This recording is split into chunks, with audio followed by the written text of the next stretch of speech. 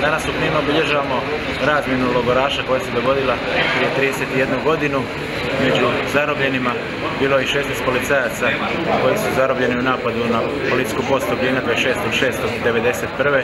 i e, 13.8.1991. u mjestu Teplju ponovo su rođeni na neki način, vratili se svojim obiteljima i ponovo uključili u obranu Republike Hrvatske.